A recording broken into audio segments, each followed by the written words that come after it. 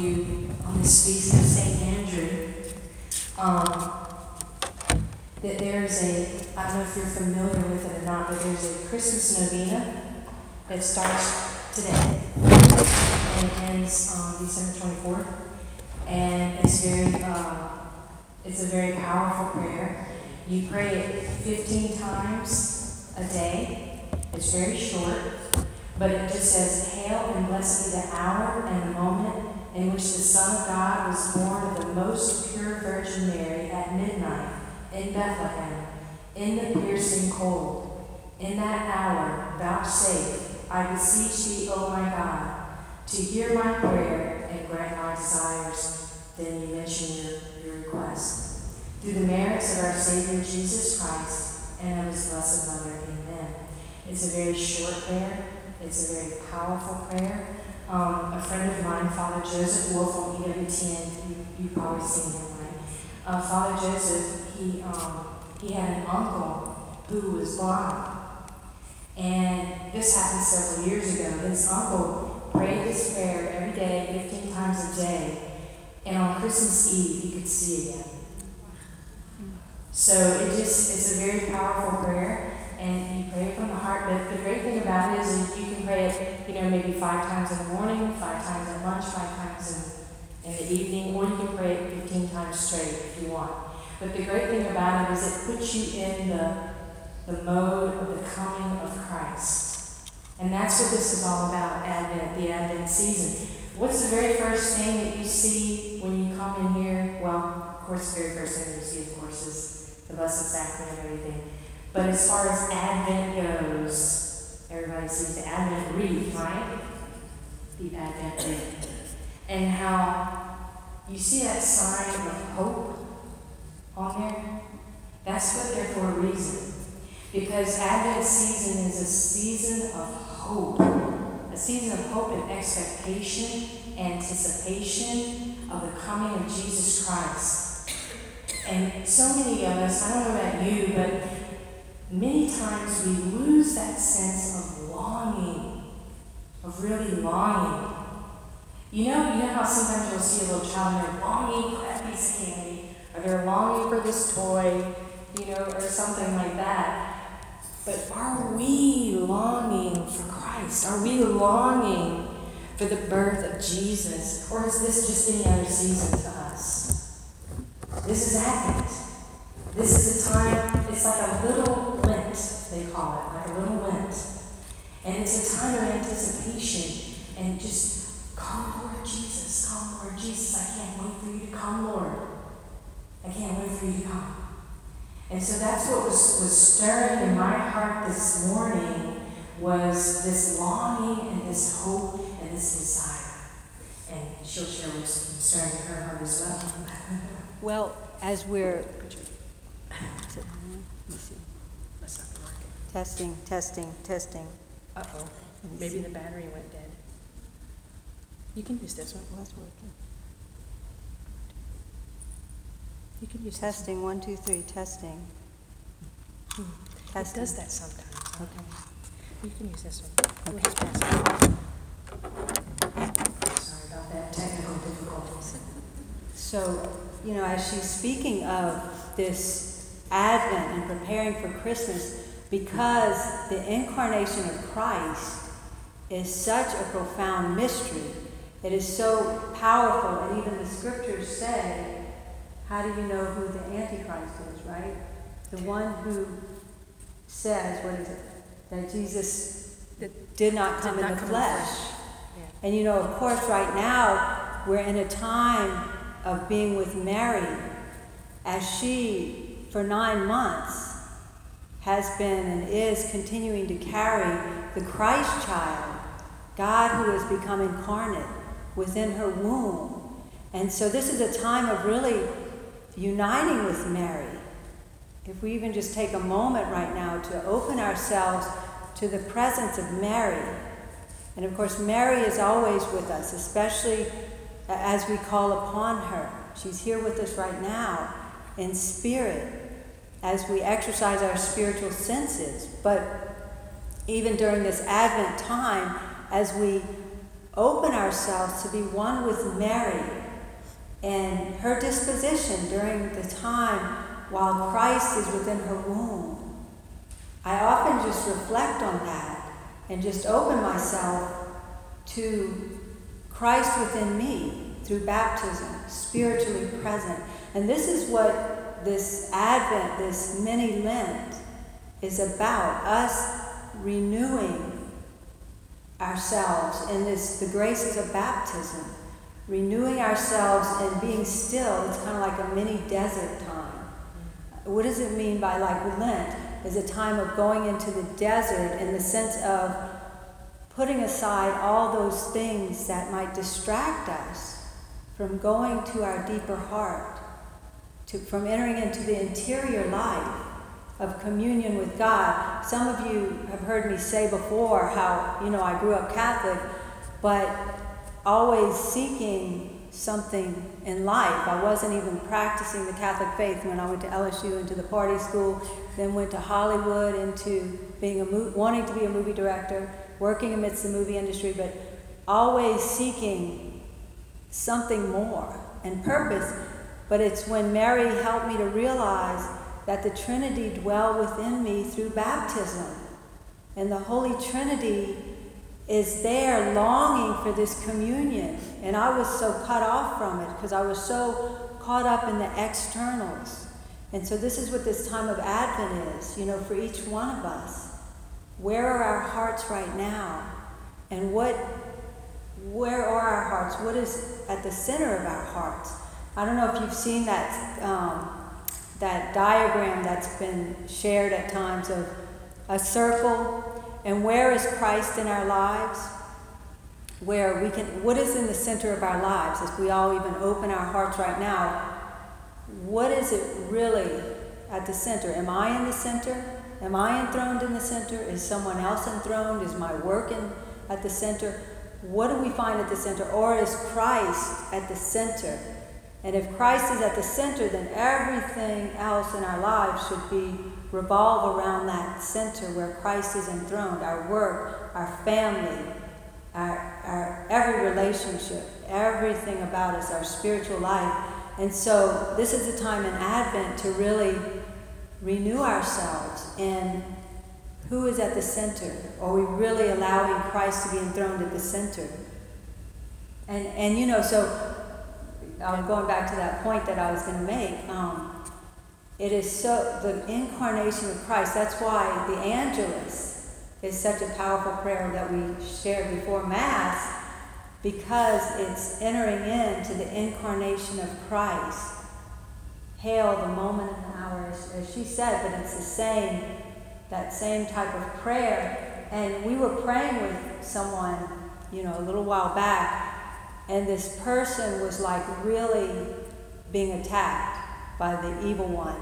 And this person could not even say a prayer because they were so being so attacked because they had come for healing prayer. And, and they were balled up like this and just couldn't even do anything and just saying what is going on? Couldn't even figure it out but it was being so attacked. So mary claire and i we started just praying. We had some blessed salt that we kind of sprayed around there. And we were praying, we were singing the Ave Maria, the Hail Mary in Latin. And, and at one point, Sister Mary Claire actually started put, put her hand on her, the head of this person. And what did you say? Verbum Dei caro factum est, or it means, um, and the word was made flesh. And, and she just kept saying that over and over. And I started sharing, and saying that with her. And this continued because everything we were sharing with the Hail Mary and this, it's like this person got to a point where they were able to say a prayer with us, you know, but it just took that time. And this is the power of the incarnation of Christ. And, and so for us in this Advent time, is a time of preparing, being still in our hearts and saying, okay, let us open ourselves so that when, as Christ is knocking, that we're not as the innkeeper saying, you know, there's too much going on in my life. There's too much. I don't have room Rather, let's say, wow, I have a lot of room at the end of my heart to receive you this Christmas. You truly are going to be the center of my life this Christmas, not my family, not presents I need to buy, not presents I'm going to receive, but you, Jesus. You are you have been born, the incarnation of Christ. And and I'm renewing myself in that. And I would just like to share when I said the um, Verbo Dei Caro Factum Est, um, just to give you a little background about that, the priest uh, from Canada, that was a very powerful prayer for him anytime that uh, anybody was being bothered by the evil one, because he can't stand, and the Word was made flesh. When you say it in Latin, Verbo Dei Caro Factum Est, he flees. Because you see how powerful that is that God Himself, like she was saying, the Trinity, came down as a little child in the flesh.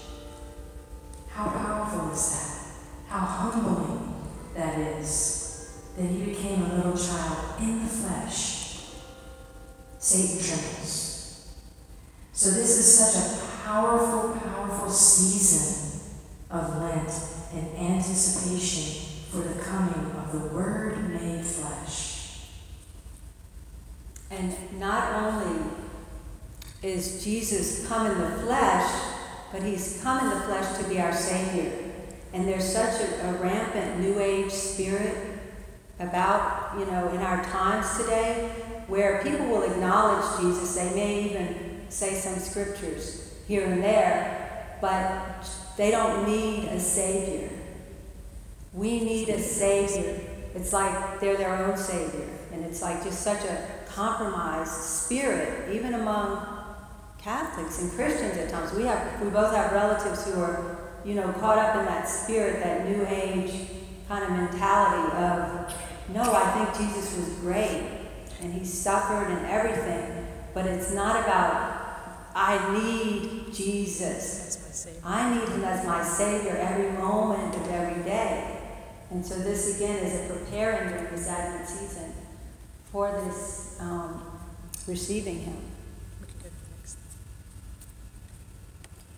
So we thought that we would enter in to a couple of mysteries of the Rosary. We've we've been sharing different mysteries of the Rosary like this. We already did the joyful, we did the sorrowful, we did the luminous, and we would have done the glorious, but we couldn't get ourselves to do it because it's the Advent season. And we just want to enter into two of the mysteries, of the joyful mysteries. They're kind of like Advent mysteries. And just see where the Holy Spirit leads us, you know, as we enter in together. Um, there's one thing that, I, that came to my mind when she had the candles up, the, uh, the Advent wreath. As many of you know, so you see that they have the purple candles and the pink candle. And so it is like a little, a little Lent. You see, purple is representing the passion, and the pink candle is a sign of hope. You see, they have hope there that Jesus is, is coming. He's almost here. So it's like we light the we light the Advent, Advent wreath even in our homes. People do this, and it's a great reminder for us of the coming of our Savior each week that goes by, the light of the world gets brighter and brighter. You have one lit, two lit, three lit, four. It's brighter and brighter, and the light becomes brighter. So that's a good um, outward sign for us. We need, we need these, these signs to remind us. The, the Annunciation. Do you, want to start it, or just we're just going to the Annunciation? We can't do much. It's up to you. However you All right, we'll start, um, we'll start with the, uh, the beginning of, uh, the Rosary, um, with the Apostles' Creed, and then we'll lead into the Annunciation. And for those, those who, ha- has everyone been here with us before and praying the Rosary? Everyone? So you know, some, a couple haven't. I'm just going to remind us because it's such a powerful um, truth for us to remember as we enter into the Rosary. And what we're going to do right now, St. Ignatius of Loyola speaks of three ways of entering into Scripture. The first is just reading it, the second is reading it and imagining it happening like a play before you. And the third is actually entering into the scene and becoming one of the characters to encounter uh, Jesus and Mary, to open ourselves to the grace of the mystery. And, and another key to praying the rosary is to come as we are, to come not, not with our holy mask on, not with our mask of feeling like we need to have it all together, but to come in abandon, in a surrendered stance, of a childlike stance of saying, Lord, here I am. And this is what's going on in my heart right now. This is what I'm struggling with right now. This is very hard. This is what gives us the grace to, to enter into the mystery and receive the graces of the mysteries. And um, just like the hemorrhaging woman, you know, like you've probably you've heard that many times, probably the scripture of the hemorrhaging woman. But I love to share it because here Jesus was so crowded. There was crowds around him, and the apostles were. Everyone was rubbing up against him. And this woman who had hemorrhages, who had difficulties in her life, she said, If I but touch the hem of his garment, I'll be healed. And so she comes raw. She comes with needs from God and longing from God for healing and grace. And she comes up and touches the hem of his garment. And Jesus stops and, and he says, Who touched me? And of course, the apostles are saying, What do you mean? It might have even been Andrew who speaks this today. Said, What do you mean? Who touched you? Everyone is rubbing up against you. And he, and he said again, Who touched me? Because his, he felt his healing power flowing from him. And the woman comes forth. And so that's what we're called to be in that disposition as we enter into these, to, these mysteries, opening ourselves. What are our hemorrhages right now? We're, we're going to take a moment to just be attentive to our deeper hearts and be aware. Let's, I'll take a moment right now. And Lord, as we come before you, as we enter into this mystery,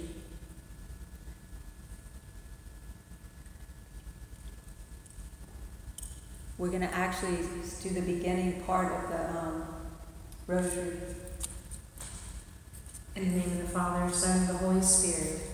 I believe in God, the Father Almighty, creator of heaven and earth, and in Jesus Christ, his only Son, our Lord, who was conceived by the Holy Spirit, born of the Virgin Mary, suffered under Pontius Pilate, was crucified, died, and was buried. He descended into heaven. The third day he rose again from the dead. He ascended into heaven and sits at the right hand of God, the Father, the Almighty from whence he shall come to judge the living and the dead. I believe in the Holy Spirit, the holy Catholic Church, the communion of saints, the forgiveness of sins, the resurrection of the body, and life everlasting. Amen. For the intentions of Pope Francis, our Father who art in heaven, hallowed be thy name. Thy kingdom come, thy will be done, on earth as it is in heaven. Give us this day our daily bread and forgive us our trespasses, as we forgive those who trespass against us. And lead us not into temptation, but deliver us from evil. For an increase of faith, Hail Mary, full of grace, the Lord is with thee.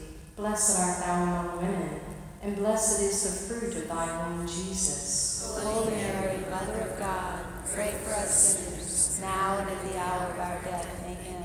For an increase of hope, Hail Mary, full of grace, the Lord is with thee. Blessed art thou among women, and blessed is the fruit of thy womb, Jesus. Holy Mary, Mother of God, pray for us sinners, now and at the hour of our death. Amen. For an increase of divine love, Hail Mary, full of grace, the Lord is with thee. Blessed art thou among women, and blessed is the fruit of thy womb, Jesus. Holy Mary, Mother of God, pray for us sinners, now and at the hour of our death. Amen. Glory be to the Father, and to the Son, and to the Holy Spirit. As it was in the beginning, is now, and ever shall be, world without end. O my Jesus, forgive us our sins, save us from the fires of hell. Lead all souls to heaven, especially those in most. The first um, mystery is the Annunciation. And what do we think of as we, we see the angel coming before Our Lady? Be not afraid. You have found favor with God. What was Mary afraid of? She must have been afraid for him to say, Do not be afraid, Mary. You have found favor with God.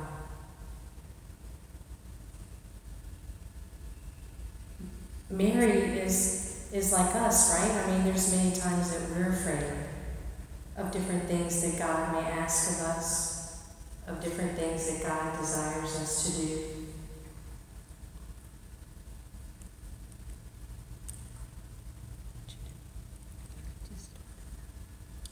In the name of the Father, Son, and Holy Spirit, amen. Our Father, who art in heaven, hallowed be thy name. Thy kingdom come, thy will be done, on earth as it is in heaven. Give us this day our daily bread, and forgive us our trespasses, as we forgive those who trespass against us. And lead us not into temptation, but deliver us from evil. Hail Mary, full of grace, the Lord is with thee. Blessed art thou among women, and blessed is the fruit of thy womb, Jesus. Holy Mary, Mother of God, pray for us sinners, now and at the hour of our death. Amen. And, and at this point, I was, what was just coming into my heart now is that the anticipation. Here's Advent, right here. This is Advent, right here. And Mary is anticipating, how can this be since I don't know man?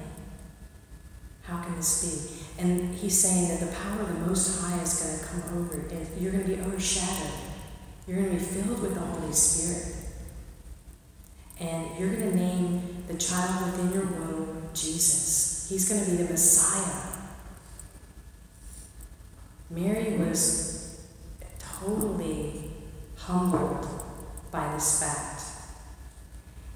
And here's the, the thing you can imagine the silence in the whole world as they were waiting. Every angel, every person in the, in the kingdom of heaven was waiting for Mary to say yes. All those who were in the know were waiting for Mary to say yes, to give her fiat. And Mary says, Yes, be it done to me according to your word. And what comes to me too is our yes. Do we give God our yes in the present moment? Whatever it is that He's asking of us, and however difficult it may, may be, do we say that yes? Because all of heaven is waiting for your yes, and they're anticipating it as well, and all waits in silence for your yes, because that's how important your yes is. Hail Mary, full of grace, the Lord is with thee. Blessed art thou among women, and blessed is the fruit of thy womb, Jesus. Holy Mary, Mother of God, pray for us sinners, now and at the hour of our death. Amen. Hail Mary, full of grace, the Lord is with thee. Blessed art thou among women, and blessed is the fruit of thy womb, Jesus. Holy Mary, Mother of God, pray for us sinners, now and at the hour of our death. Amen. And as we're in this mystery and really just uh, encountering Mary, if we imagine ourselves in that room where Mary is and where the angel's appearing, what stirs in our heart as we open ourselves to enter into this mystery? At different times in my life, different things stir.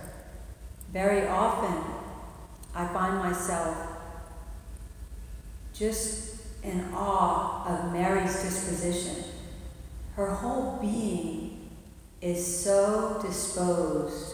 And in fact, her whole being has been disposed since she was uh, uh, conceived in the womb of St. Anne, because she was immaculately conceived. Mary's whole being, throughout every moment of her life, was disposed to God and His will. And this is why she's at this point where she is being asked to be the mother of God.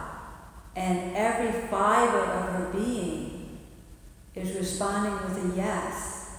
She has nothing else distracting her.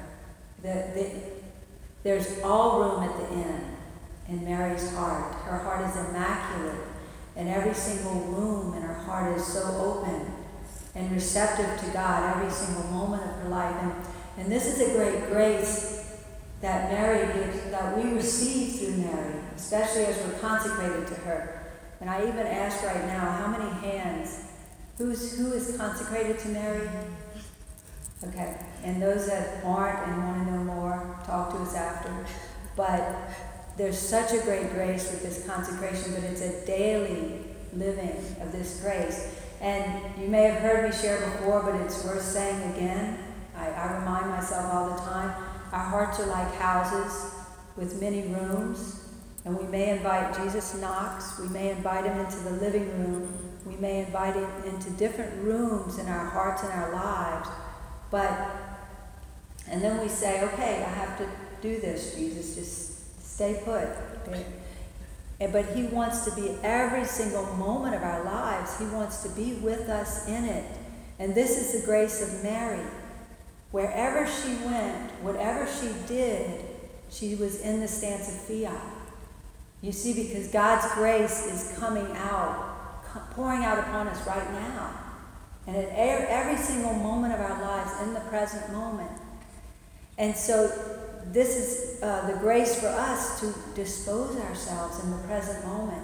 And often for me, when I realize that I'm in a room that Jesus isn't in, is when I'm feeling anxious or um, different different insecurities stir or different things. I'm always hearing Jesus knocking. He's saying, and if, and if I'm still enough and quiet, then I can open the door, I can hear him knocking, and I can invite him in. And so, this is the grace of what Mary draws us into. So, in this present moment, what room do we find ourselves in? If we are attentive to what we're experiencing, what we're feeling, our emotions are often a sign, you know, a help to us in inviting God in to deeper areas in our hearts and our lives. So as we continue in this mystery, let us, Mary, we ask you to help us to open our hearts more, every room in our hearts. What rooms do we find right now that we're in need of inviting God into? And help us, Mother, to say yes to God in the present, in the situations in which we find ourselves. Hail Mary, full of grace, the Lord is with thee. Blessed art thou among women, and blessed is the fruit of thy womb, Jesus. Holy Mary, Mother of God, pray for us sinners, now and at the hour of our death. Amen. Hail Mary, full of grace, the Lord is with thee. Blessed art thou among women, and blessed is the fruit of thy womb, Jesus. Holy Mary, Mother of God, pray for us sinners, now and at the hour of our death. Amen. Hail Mary, full of grace, the Lord is with thee. Blessed art thou among women, and blessed is the fruit of thy womb, Jesus. Holy Mary, Mother of God, pray for us sinners, now and at the hour of our death. Amen. And in this new image that you see, Mary has received Jesus into her. And, and she's such a perfect model for us of entering more deeply into the interior life of union with God. We all have been baptized. When we're baptized, we, we receive the indwelling presence of the Trinity. Or we communing with the Trinity within us. And so Mary did this so perfectly throughout every moment of her life. She was in union with God. And you know, St. Teresa of Avila speaks of the seven mansions that we go through to gradually, and the seventh mansion is uh, transforming union. It's, it's when we're constantly in this union with God, and this is, of course, where Mary was, always there. But it goes through different stages for each of us in our lives, and it's not for us to get caught up in what stage we're in, but it's just to recognize that there's always more. There's always more to going deeper and entering into more constant union with God. So, as we continue this mystery, let us open ourselves to Mary and her, um, the graces that flow through her intercession. You know, she's here with us right now. And she brings us this grace of growing in the interior life. Hail Mary, full of grace, the Lord is with thee. Blessed art thou among women, and blessed is the fruit of thy womb, Jesus. Holy Mary, Mother of God, pray for us sinners, now and at the hour of our death. Amen. Hail Mary, full of grace, the Lord is with thee. Blessed art thou among women, and blessed is the fruit of thy womb, Jesus. Holy Mary, Mother of God, pray for us sinners, now and at the hour of our death. Amen. Hail Mary, full of grace, the Lord is with thee. Blessed art thou among women, and blessed is the fruit of thy womb, Jesus. Holy Mary, Mother of God, pray for us sinners, now and at the hour of our death. Amen. Hail Mary, full of grace, the Lord is with thee. Blessed art thou among women, and blessed is the fruit of thy womb, Jesus. Holy Mary, Mother of God, pray for us sinners, now and at the hour of our death. Amen. Hail Mary, full of grace, the Lord is with thee. Blessed art thou among women, and blessed is the fruit of thy womb, Jesus. Holy Mary, Mother of God, pray for us sinners, now and at the hour of our death. Amen. Glory be to the Father, and to the Son, and to the Holy Spirit. As it was in the beginning, is now, and ever shall be, world without end. Amen. O my Jesus, forgive us our sins, save us from the fires of hell. Lead all souls to heaven, especially those in most need of thy mercy. Our Mother of the Eucharist, pray for us. Ave, Ave,